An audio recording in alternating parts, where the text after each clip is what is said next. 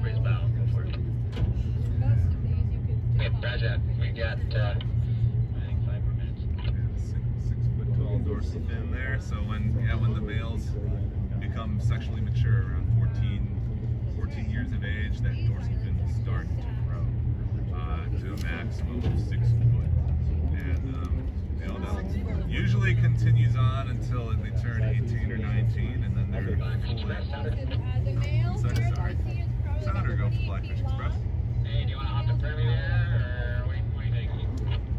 You should hop in front, and I'll I'll follow you. I'm just we're just chilling out, you know, as they kind of pass and curl around here.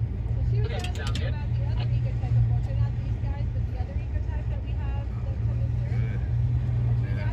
That big male, he's not